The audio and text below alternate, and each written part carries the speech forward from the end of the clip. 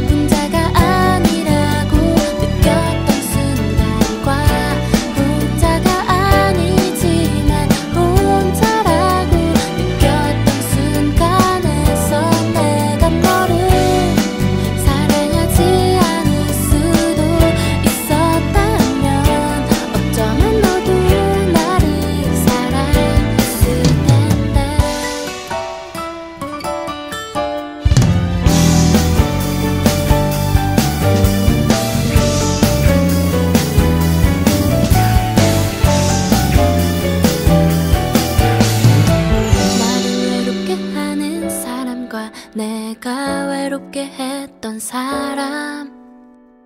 나를 슬프게 하는 사람과 내가 슬프게 했던 사람. 나를 웃게